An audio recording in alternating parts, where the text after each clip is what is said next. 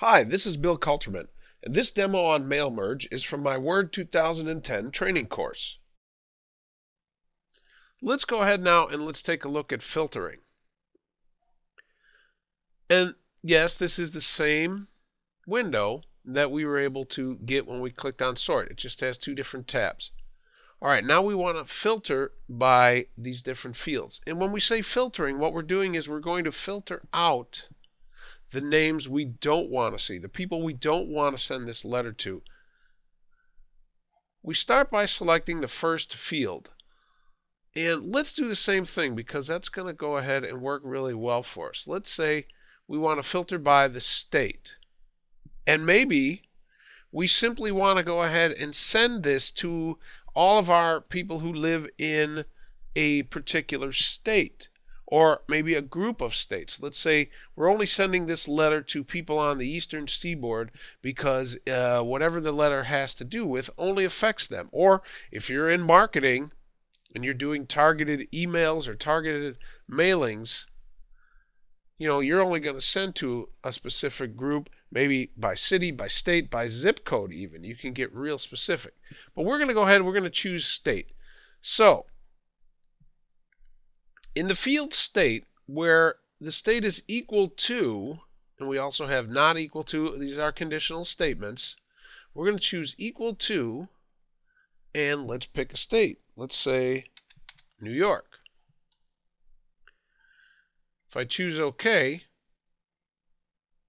and let's move back this way, you'll see it filtered out everybody except the people in New York.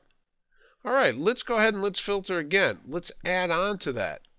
So, show me where the field is equal to New York and where the field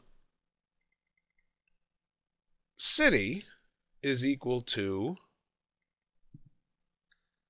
New York. So now we're only looking for people in New York City, New York. Choose OK. Wow, we didn't get anybody.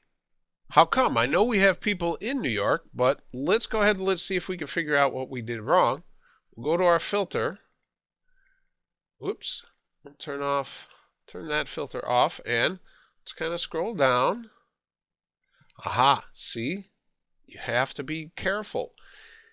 Because we had the state abbreviation here, but we're not using that as the abbreviation for the city. We have to spell it out.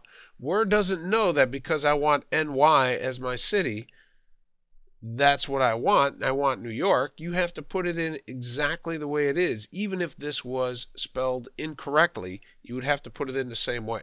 So let's try it again. City equal to New York. There we go. Now we only have people in New York City.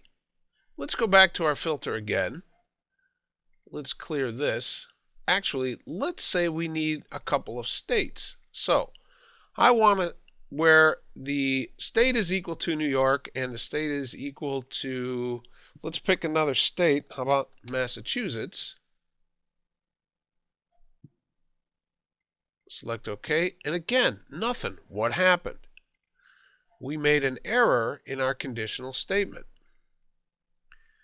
There is no field state where it is equal to ny and ma. It is over here, our conditional statement should read, show me the field where state is equal to New York